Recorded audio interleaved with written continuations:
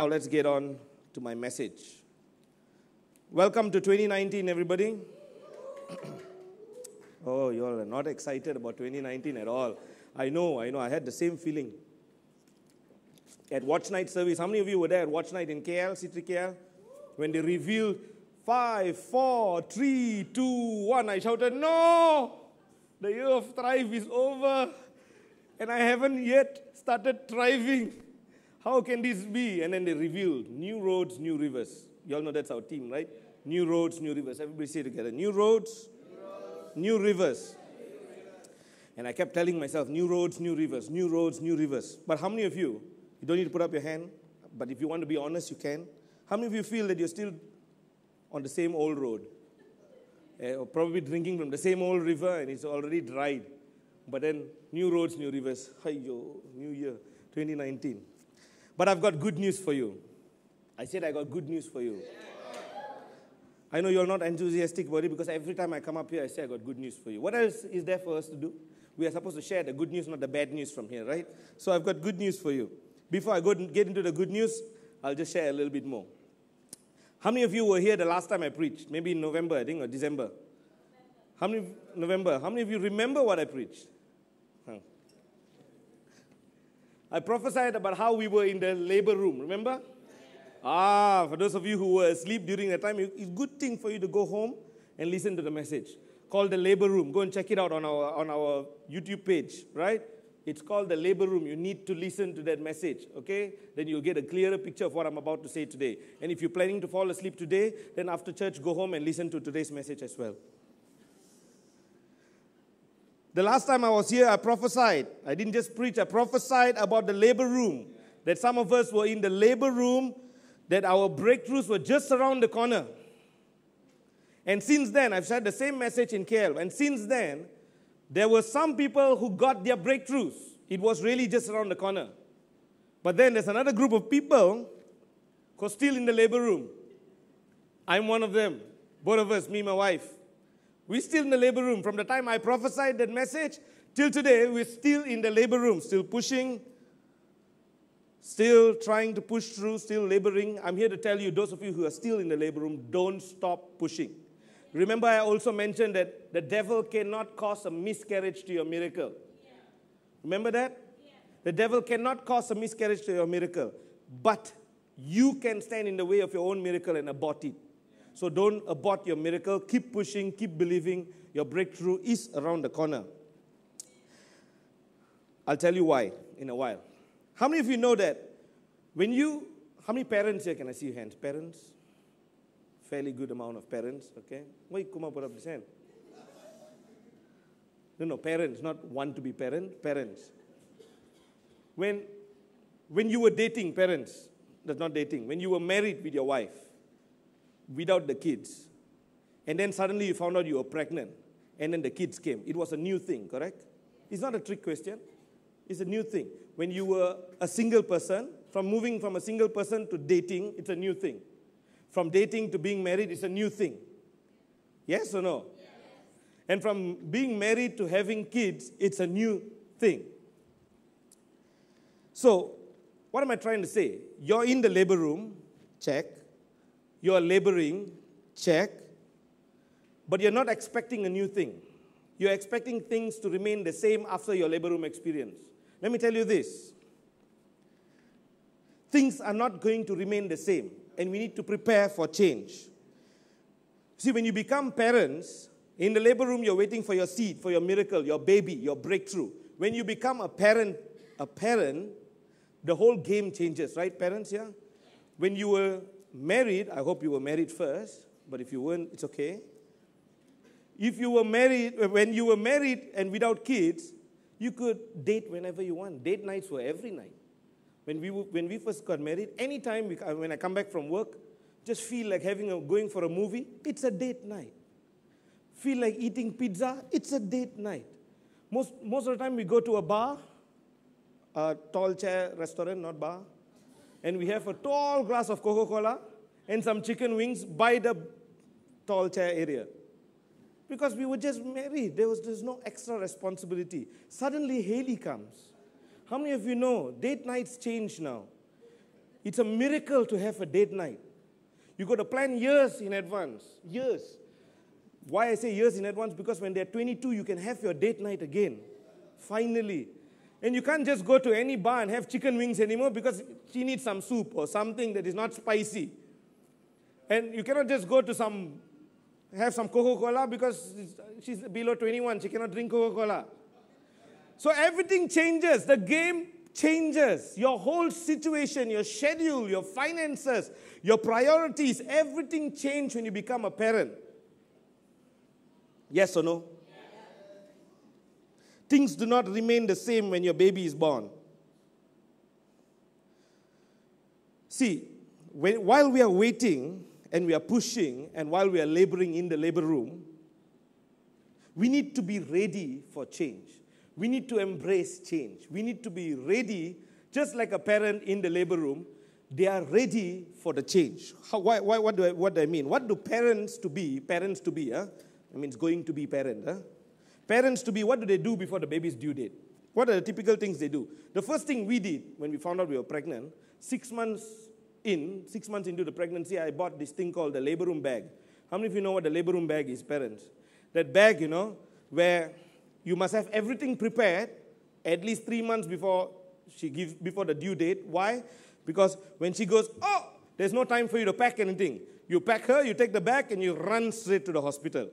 You, you know what I'm talking about? The labor room bag where you put the change of clothes, the diapers, the guitar, the bottle of Coca Cola. You know, because you don't know how many years you're going to be in the labor room. So, that's the first thing parents do. They prepare the labor room bag. What else they do? They get the confinement lady ready. Now, we, we were privileged. We didn't have to have a confinement lady. We had one mother and one mother in law, more than enough. Then some people go through the parenting classes, the baby 101 classes, how to breathe. Husbands also learn to breathe because you must be in rhythm or you get slapped. So, baby knows, see, uh, any, right? Yeah. learn to breathe. And then what do we do? The most important thing, we prepare the room for the baby. If it's a boy, blue. If it's a girl, pink. For us, we like to be, I love breaking traditions. So ours was red and black. And then up the crib, you know, they'll have that, that toy which spins around with a creepy song so that the baby can fall asleep. I was a little bit different as well. Some would call it child abuse, but we had a samurai sword and a guitar. It was for our baby, our rocker baby that was coming. But you prepare the crib, you prepare the car seat, you prepare the baby bottles, you prepare the diapers, all before the baby is born. You even prepare the mother in law. Why you need a mother in law? Confinement food. Hello? But you can ask her, I cooked the confinement food for her. If my mother in law is listening, she also cooked. She cooked better than me. But you know the truth, huh? Have you ever encountered parents, parents to be, who go into the labor room having prepared nothing, not even bothered about the arrival of the child? What do you call them? Irresponsible. Never bought the baby's clothes. They expect to take the baby home naked from the hospital. They didn't even prepare the car seat, didn't prepare the crib, weren't bothered. Have you met parents like that? You would be borderline on child abuse, irresponsible. Yet, here we are in the labor room. Didn't prepare the crib for the baby, didn't, pre- didn't childproof the house for the baby, your body, did nothing in preparation for this baby that you're praying and laboring for, your breakthrough your miracle, and you're expecting a miracle. Are you listening to what I'm saying? Are you getting what I'm saying? See, church, in 2019, God is boldly saying He wants to do a new thing. Boldly. How I know God is boldly saying? Look at the back new roads, new rivers. Now, that words didn't just come out out of nowhere. Pastor Joe and Pastor Ella weren't reading a magazine and they said, Oh, what do we do for church next year? Huh, new words, new, new roads, new rivers. Sounds good. It rhymes. They're not rap stars. They weren't finding words to rhyme. Okay? This is God breathed. Okay, they spend time in prayer, they spend time in fasting. They're not just them, the pastoral committee, the whole church leadership before coming up with this. So it's something inspired by God. God is saying to you and I, 2019, He wants to do a new thing. Are you listening? Turn behind and look. New roads, new rivers. There's not just mere words on your wall, although the design may be just from PowerPoint. I'm sorry, designer, if you're here. I didn't, don't mean anything, but it looks like I, I got the same background for my thing last week I did.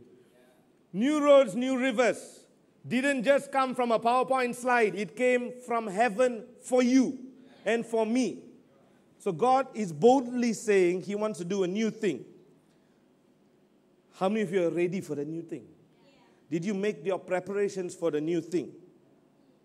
There's only one or two, th- one of two things that can happen in the labor room. Either you come out with a baby or without.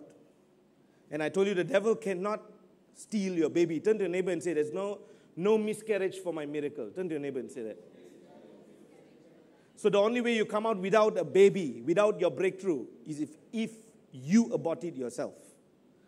So you God is willing, listen, God is willing that you come out of that labor room with your breakthrough.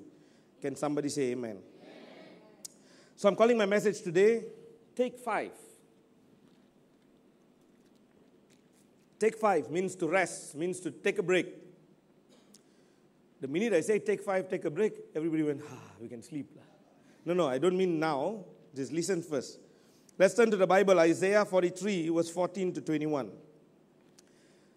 You'll see the banner at the back there, Isaiah 43, verse 19 is our scripture for the year. But I'm going to read out the whole context of it. Ready? This is what the Lord says, your Redeemer, the Holy One of Israel. Israel here referring to God's people. How many God's people in the house can I see your hands? Some of you not sure. Never mind. Maybe at the end of the service you'll be sure. Some of you sleeping. It's okay. Maybe you can go home, listen, and put up your hands at home. How many of you are God's people? Can I see your hands? This is what the Lord says Your Redeemer, the Holy One of Israel. For your sakes, for whose sakes? For our sakes. For our sakes, the Lord says, For your sakes, I will send an army against Babylon. Who's Babylon? Babylon represents your enemies.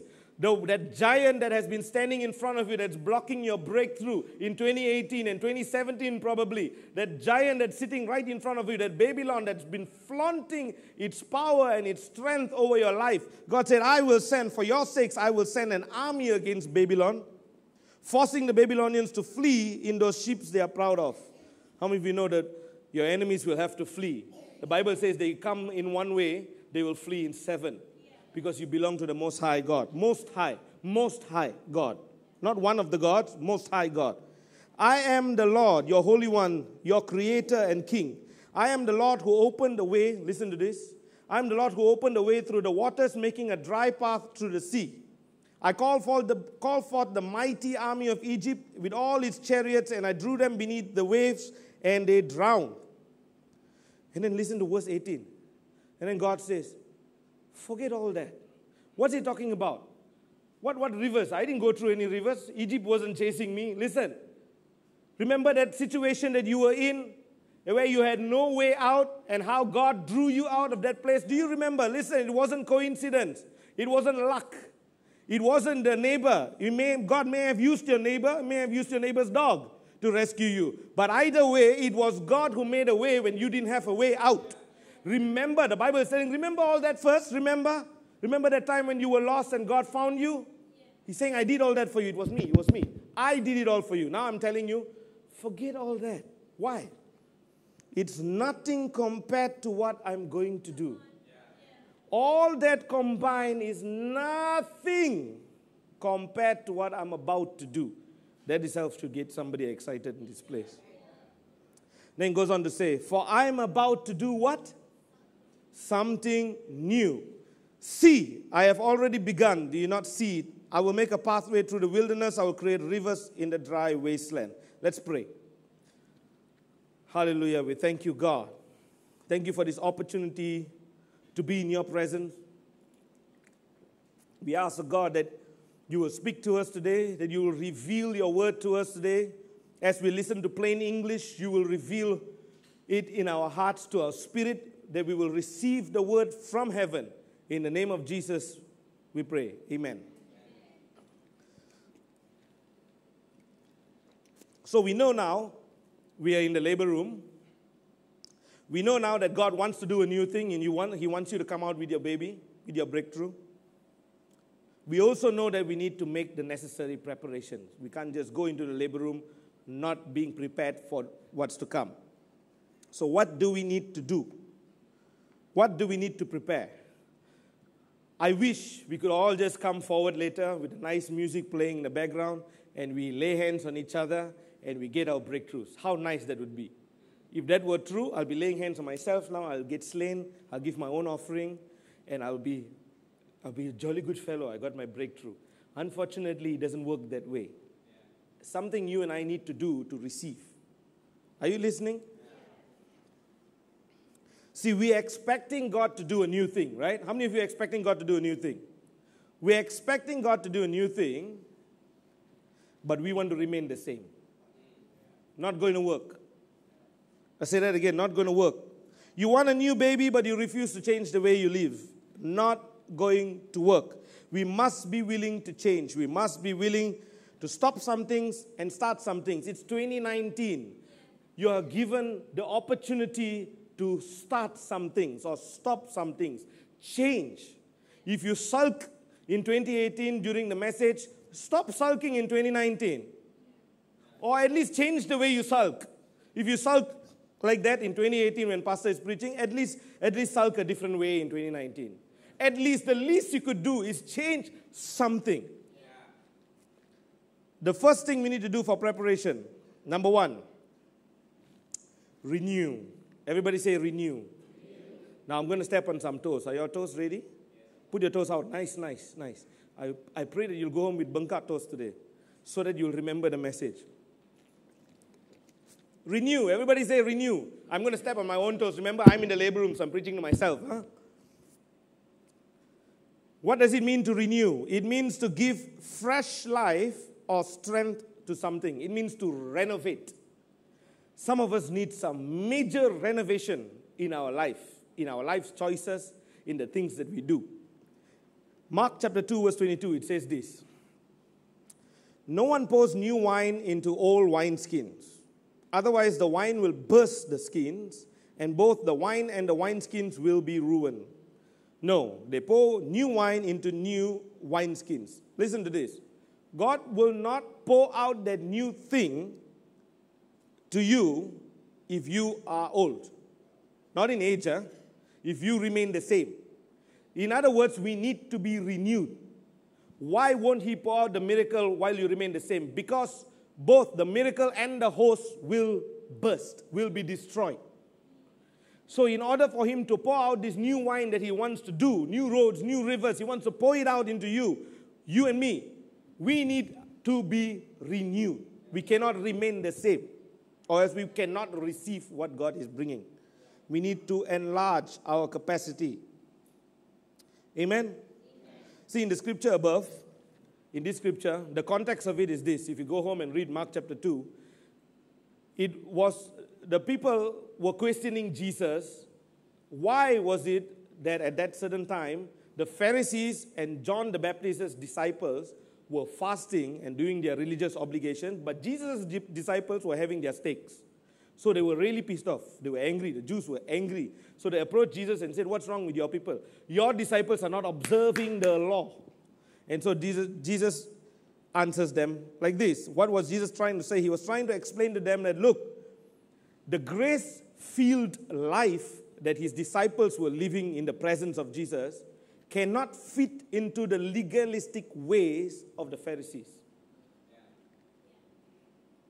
What were some of the legalistic things the Pharisees did? They worshiped religiously. They had all kinds of rituals and practice and, and the way they served, but had no heart in it. They just did it out of a book.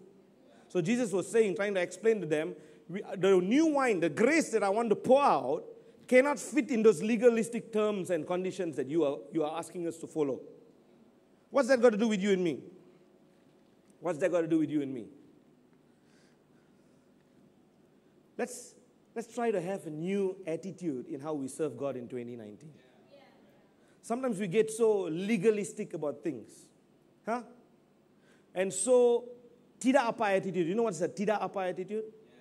Lackadaisical, like, ah, whatever lah, you know Oh, Alpha Course, eh, whatever lah. You know, church is having an event, eh, whatever lah. Eh, we're having a fundraiser, eh, whatever lah. You bought your fundraiser ticket, eh, no lah. I'd rather go for a dinner, you know, because the dinner in the, in the fundraiser not so good. The dinner in Pizza Hut better. Why I pay $200? Eh, whatever lah. Stop treating church in 2019. 2019, are you listening to me, church? Bring your toes, put your toes out nicely. Put nice, nice. Nice, nice. And I'm a big fellow, it's going to hurt. In 2019, stop treating church like an extra co curricular activity. It is not. Listen, listen. This Jesus that you're serving is not this small tiki God that you got from Hawaii or from Fiji. He is the Lord of all or Lord or none at all. He's either Lord of all or none at all. So you decide in 2019 what, what 2020 you would like to have. It's time we stop treating church like it's an extra curricular activity. Stop giving excuses. Stop coming in late. Earlier in the, in the Chinese service, Pastor Edward was saying how the band and the worship team and those who at the back there and who opened the church, they come in at 7 a.m. every, every Sunday or 7.30 to prepare. Listen, the, the songs, we've got four songs that we sing, or three songs here. The first song is not the opening act. It's not for you to come in or because it's just the warm-up song. So the real worship only starts on number three. So you, some of you dragging your feet and coming in at the third song. Hey, 2019, let's do something different. You want a new baby? You want a new thing? Renew. Stop doing things the same way in 2018 and complaining about the results in 2019. You can't do the same things over and over again and expect a different result. That's madness. Madness. Okay? Stop falling asleep during the message. There is a reason why we preach here. Okay, I, I would rather be at home right now listening to a good message from Mark Kelsey or somebody, some top notch TD Jakes. I love TD Jakes.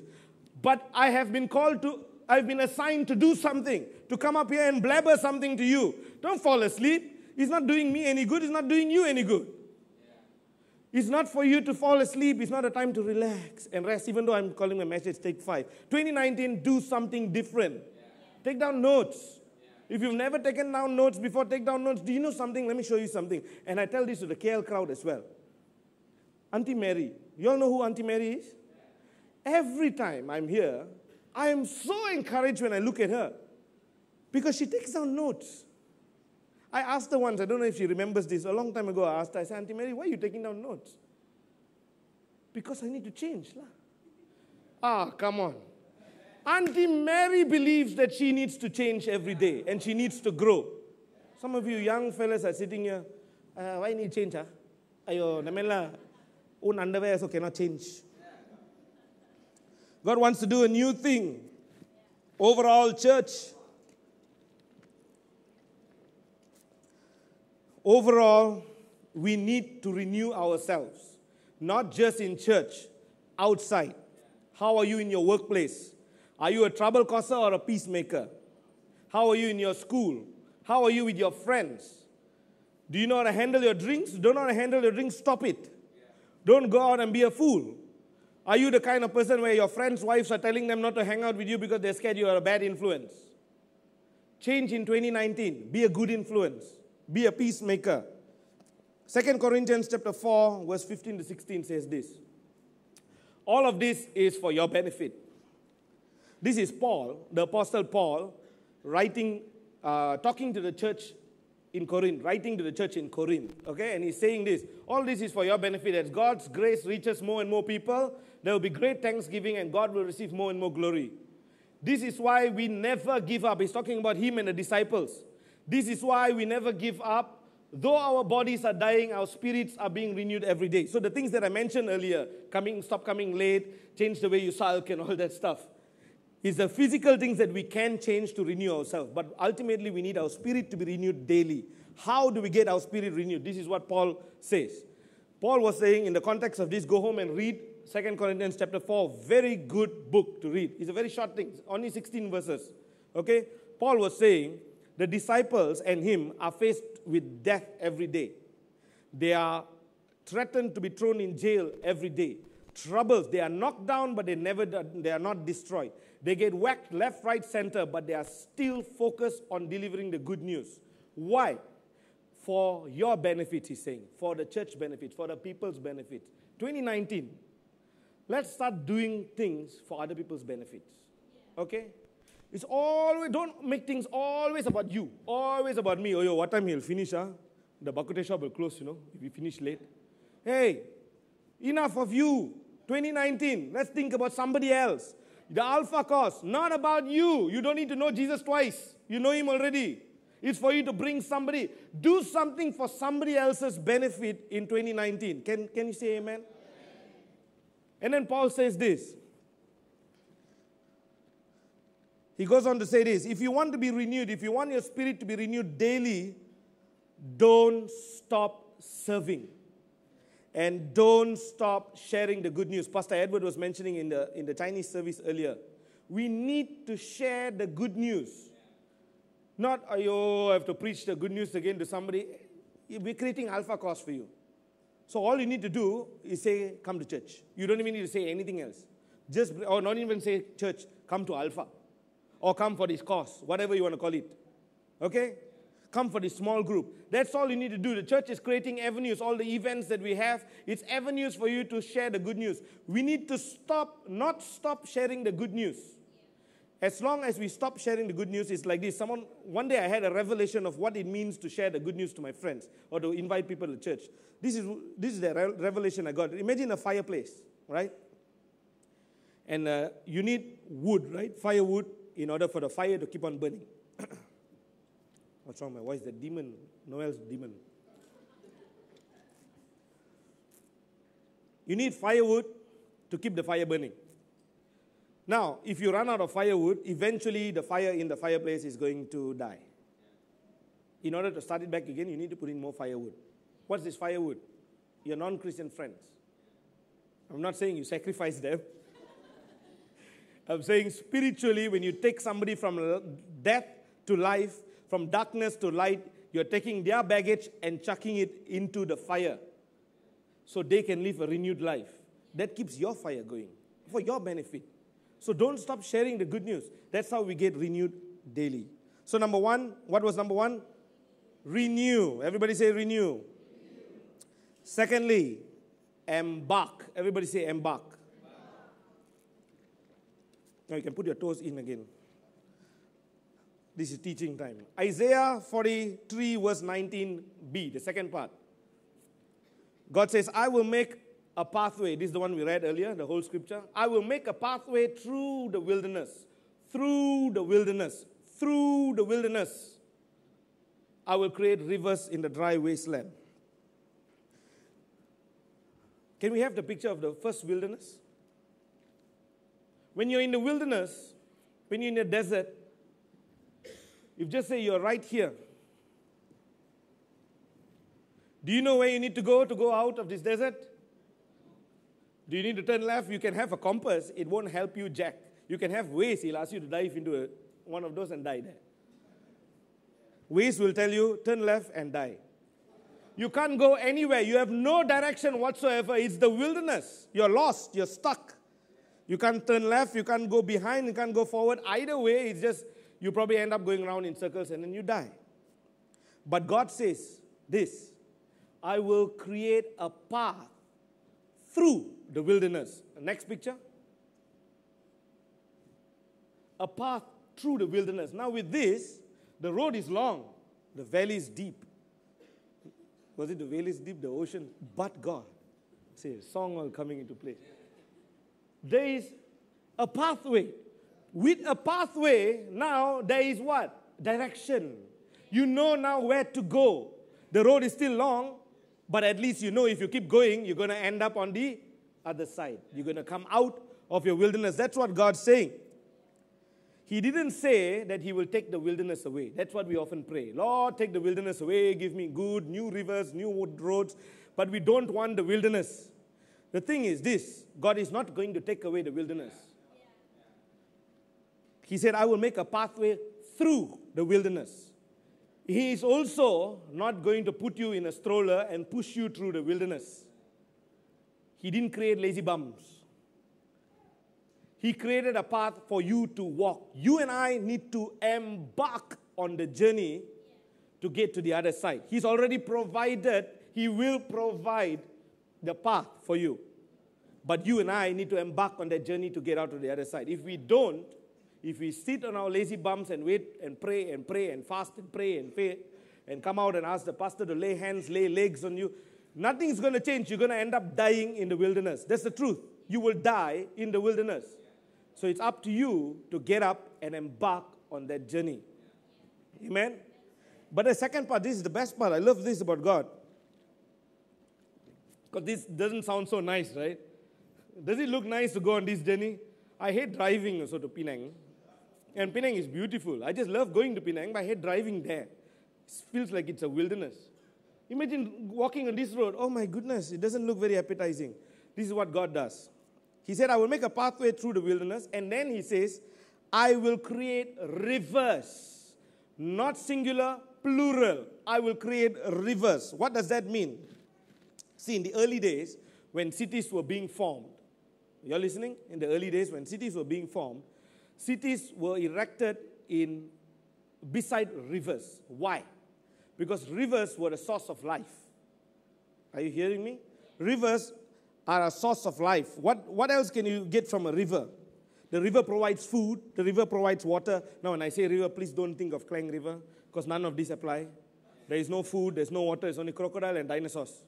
Don't go to Klang River and say, The Lord, new rivers, new roads, you will die. You will die. That's a wilderness. If you've seen the color, it's a wilderness, it's not a river. Don't go to Klang River.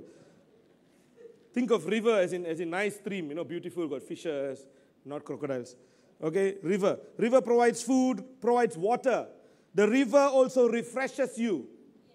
The river is also a channel for trade, meaning your economy can continue to, to increase.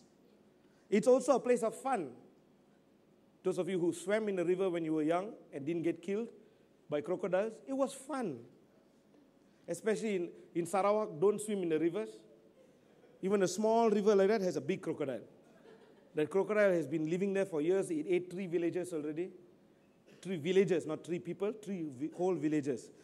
And you still want to swim there. Remember, we went to Sarawak. Once we went to Sarawak with Bevin and Annie, and uh, we met this one of our friends' uncle, and his kids are jumping. And He said, "Let's go to the stream."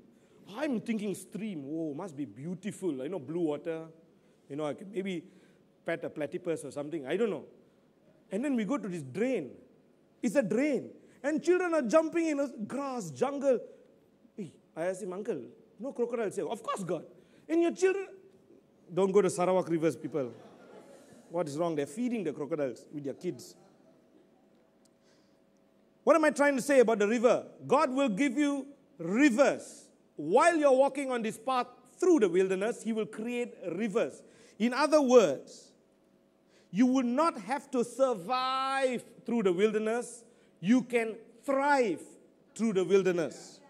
It means you will never run out of life, food, or water. It means that you will have channels of trade. It means you will still receive your financial breakthroughs and your blessings and all kinds of things will still becoming good things while you're still in the wilderness. Isn't that a good God? You don't need to suffer the heat of the sun. Think of the children of Israel when they were in the wilderness. God provided shade for them when it was hot and fire for them when it was cold. God gave them food and drink. They never ran dry. Amen? It's only when they decided to stop moving, they died in the wilderness. It means you can also be refreshed. See, we are, we are sitting in the middle of the wilderness hoping that God will put us on a wheelchair and take us through. But the whole idea for the wilderness is for us to embark on the journey. So, number one was renew, number two was embark. Number three, see. Everybody says see. Isaiah 43 19, the first part. He says, Behold, I'm about to do a new thing. And then he goes on to say, See, I have already begun. Do you not see it? See, uh, let's go back to parents to be again. When you're a parent to be, before your baby arrives, you already see your baby. What am I talking about? Not through the mammogram thing. You already see. What do you do? Is it mammogram? No. Ultrasound. What is mammogram? For, for breast cancer. Are you? Wrong words. Bad words I'm saying. Gee, I am not biologically created. I didn't study biology. I don't know. Or it's medicine. I shoot. Horrible. So, when you're going to be a baby, do you, what do parents typically do? They buy their clothes for the baby before the baby is born, right? When we found out that she was pregnant with Haley, the first day, we, no, the, the day we found out the, the gender of the baby, we found out it was going to be a girl. That day we went shopping. We didn't have much, but we were excited. I bought a, I bought a jacket and a skirt for her that on, she only started wearing at five years old. That's how big I bought it. And it's still loose. Because I didn't know she was going to come out this small. She was literally this small, like from here to here. I, when I saw her, I was like, oh, this is not going to fit. La. I thought a full grown lady is going to come on. I didn't, just didn't, didn't imagine. But, but I saw the day that they announced uh, that we, we announced that uh, Sam was pregnant, I already saw my baby before she even arrives. I didn't know how she would look, but I knew she was coming. We need to see our miracle before it even comes. Are you hearing me? And then what I did, I prepared the budget, I planned the schedules, and I bought the clothes. And some parents have a, bad, a different. Uh, I only started to see the baby actually not on the first day that she was pregnant, because I was still in shock. I only got to be calm when we found out the sex of the baby. But most parents are excited on the first ultrasound itself. When, you, when, they, when, when they showed me the ultrasound, Haley was this small. I still don't see it. La. She told me it's this small. I still don't understand the, the picture. Most men can't see it. It's like staring into a 3D picture. You know, you just, you just can never see it. And the only thing I saw, honest, honest, to you, the only thing I saw at that time was a tall glass of Coca-Cola and a big steak. Not in celebration, no, no. In the Last Supper. I was thinking, and then I saw a very, very empty wallet. That's honest to you. But after that, I saw my baby. And then he goes on to say this 1 Corinthians 2, verse 9. Everybody knows the scripture. No eye has seen, no ear has heard, no mind has imagined what God has prepared for those who love Him. What's God trying to say? What God has in store for you supersedes what you've already seen. See, when I saw Haley before she was born, I had an expectation of Haley already. But on the day she arrives, she was beyond what I saw. She's far superseded what I saw, what I expected. The fulfillment that I received was far more than I could ever imagine. That's what God will do to you. God wants to supersede your imagination and your seeing and your hearing. But how can He supersede what if you've never seen? What is He going to supersede if you have not seen?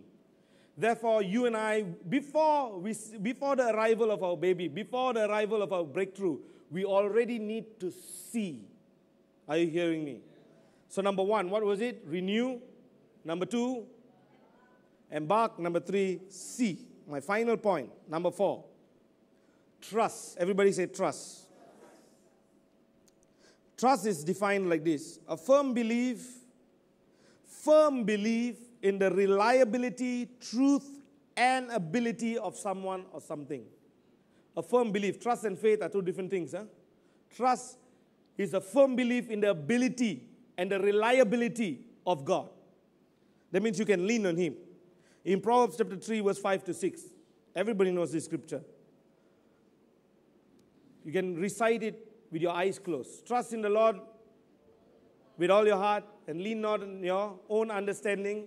In all your ways, acknowledge Him, and He will direct your path. But I like to read it from this version, the NLT. Trust in the Lord with all your heart. Do not depend on your own understanding. I tell you why, church. If you depend on your own understanding, you will die. Because it will not make sense.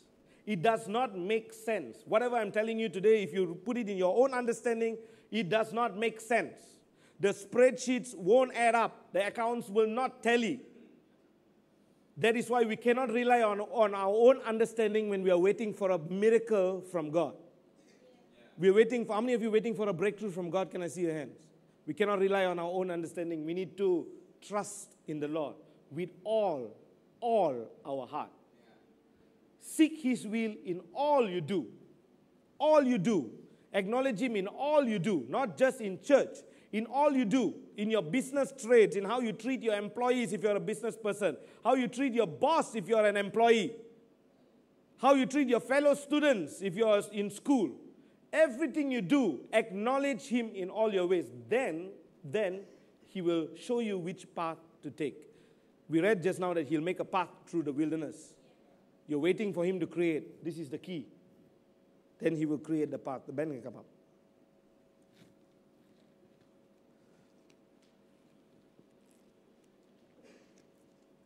So, number one, what did I say? Number one, we need to renew ourselves because God cannot pour out a new thing into an old container. Are you listening? God cannot pour out a new thing into an old container. Pay attention here. Don't worry about the band. They know what to do. Number two, first renew. Number two, what? Embark. Embark on that journey. We cannot wait for the wilderness. The wilderness is not going to go away and God's not going to push your lazy bum across. We need to get up and walk through the wilderness. Number three, see. Start seeing. This is a faith thing. Start seeing before you even receive it. Number four, trust. Lean on God. What does that spell out? For those of you who've been paying attention and taking out notes. Rest. Everybody say rest. Rest. rest. Say rest again. Rest. rest. Oh, I need rest. Like really, I'm really tired. rest. That's why the title of my message today, Take Five. Rest. What does it mean to rest in God? Does it mean you remain idle? Surrender everything? Oh, rest. Oh, just lie down in your small underwear. I'm resting in the Lord. What does it mean to rest in the Lord? Matthew 11, verse 28 says this Come to me, all you who are weary and burdened, and I will give you rest. How many of you are weary and burdened? Can I see your hand? Your Lord, your God, your Father wants to give you rest. I want to read to you something, a quote from Pastor Joseph Prince. This quote, don't put it up first. This quote, because then you start reading it. I posted it, somebody posted it on Facebook like six years ago. And on my Facebook memory, it showed up about a few days ago of all the things in the world, I hardly go on Facebook, but when I went, I saw this quote. And it was in line with what I was going to preach. I didn't prepare my message yet at that time, but then at the end of the day, when I prepared my message, it was perfect for everything that I was going to say. So I want you to read this quote. I'll read it to you. Don't need to look at the screen. I'll read it to you, but you can put it up. This is from Pastor Joseph Prince, senior pastor of New Creation Church in Singapore. He said this when you worry, listen, huh? when you worry, you are actually believing that the devil has power to make inroads into your life that God cannot protect you from. Are you listening? That's what actually happens when you worry. You're believing that the devil has ability to attack you and God cannot protect you from him. Then he's going to say this. Goes on to say this. But when you refuse to worry, you're putting your faith in God you have more confidence in His love and His power working for you rather than the devil's ability to harm you. That's what happens when you don't worry. When you refuse to worry but choose to rest, everybody say rest. When you refuse to worry but choose to rest in the finished work of Christ, you will see, you will see the manifestation of your blessing. You will see your miracle. You want to see your baby? You want to see your miracle at the end of your labor room experience? Trust in the Lord with all your heart. Stop worrying. Let me tell you this I am a great warrior, not a warrior, a warrior. I worry like there's no tomorrow. And I tell you, in 2018, I worried about our business, about our finances, about the church. I worried, worried, worried about everything. And let me tell you, what have I achieved in 2018 through worrying? Nothing. In fact, I became tired of worrying. Let me tell you this from experience worrying does nothing for you, it just kills you faster. Gets you in a bad mood, gets you grumpy, gets your wife grumpy. I don't know how it works, but it works Do not worry in 2019. Worry is a matter of the mind. So whenever you sit to worry, you know, that everybody has this chair at home, every man at, at least, a chair at home where it's the worry chair. When you sit there, it's for you to sit down oh, and worry. Take the chair and throw it out. No worrying in 2019. It's a matter of the mind. When worry comes, switch it with the Word of God. Switch it with something else. Remember the waters that He brought you through. Remember the armies that He destroyed for your sakes. When worry comes, remember the Lord and trust in Him. Let's stand.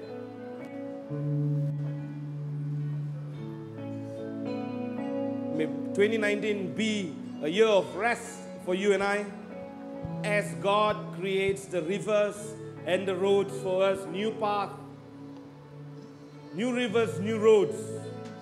Now, how many of you are excited for 2019? Can I see your hands? Those who are excited for 2019. Thank you, Lord. If you're still not excited, I don't know, I'm out of breath. I cannot, I cannot. Just go home, listen to the message twice. Let's sing this song from the start. The reason why I chose this song again, And But God, is because it really helps us to tell God what we feel. Amen. Sometimes you need songs, sometimes words just, I don't know. Sometimes I don't know about you, but when I sit before God, sounds like I got a lot of words to say. But when I sit before God, blah. So sometimes all you can do is say, whoa, whoa. That's all you can do because you got no other words to say. And that's all you need to do sometimes just whoa in front of God. Songs like this help us to express what we need, helps us to see our miracle, helps us to apply our faith. So let's sing this song from the start.